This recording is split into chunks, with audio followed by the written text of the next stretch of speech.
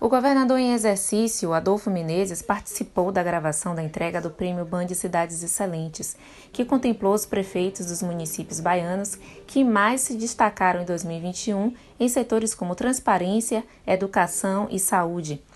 Os vencedores da Bahia agora vão concorrer com os gestores que foram contemplados em outros estados. A premiação vai ao ar no domingo, dia 24 de outubro, na Band Bahia. Esse evento está acontecendo em todos os estados. É, hoje aqui serão é, premiados os prefeitos que foram escolhidos, não por júri, mas pelos dados estatísticos em cada área. Então, uma grande iniciativa.